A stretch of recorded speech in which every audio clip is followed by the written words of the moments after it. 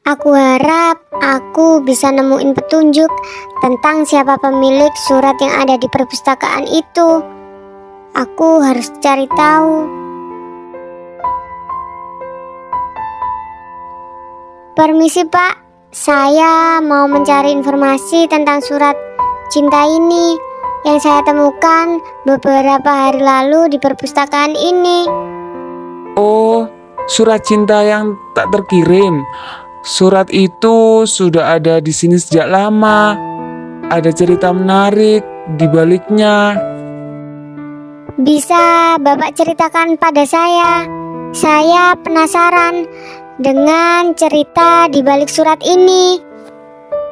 Surat itu ditulis oleh seorang pemuda bernama Adrian. Dia menyimpan rasa cintanya pada seorang wanita yang bernama Ana, tetapi tak pernah mengirimkannya. Mengapa Pak surat ini nggak dikirimkan ke wanita yang bernama Ana? Ada alasan apa? Adrian udah meninggal nak sebelum sempat mengirim surat itu. Ana tak pernah tahu perasaannya.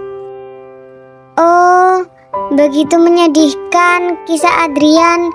Semoga aku bisa membantunya memberitahu Ana kalau dia suka pada Ana.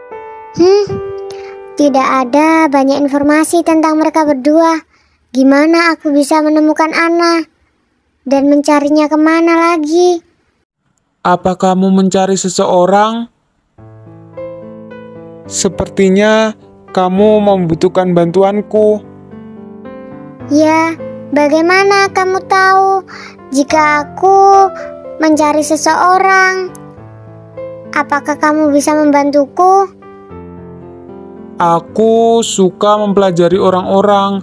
Mungkin aku bisa membantumu juga untuk mencari seseorang yang kamu cari.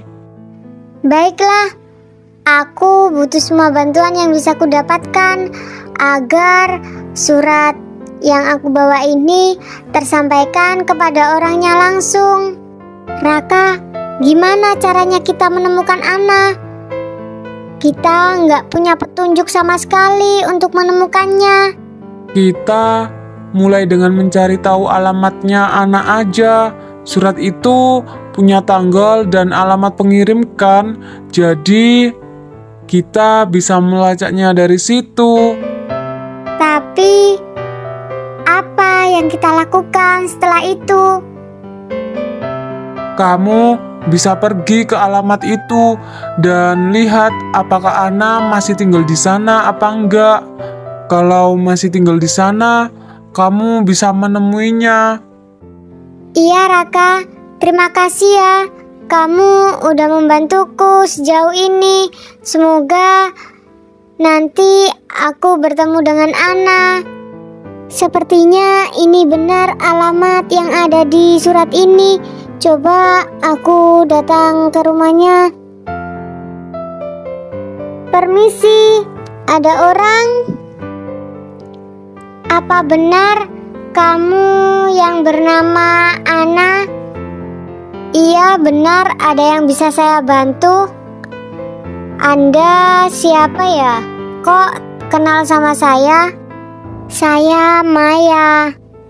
Saya ingin memberitahu kamu Ana kalau Adrian mau mengirim surat ke kamu sebelum ia meninggal dan surat itu berisi tentang dia mencintai kamu. Kenapa Adrian ninggalin aku sih? Adrian adalah cinta pertama saya, tapi saya tak pernah tahu apa yang dia rasakan. Sebelum dia meninggal, dia nggak pernah bilang apa-apa ke saya. Saya hanya bisa memberitahu kamu surat ini. Saya nggak tahu lebih lanjut lagi, Ana. Semoga kamu mengerti dan sekarang kamu paham bahwa Adrian sangat mencintai kamu. Terima kasih ya, kamu telah memberitahuku dan aku sekarang sudah paham Adrian sangat mencintaiku.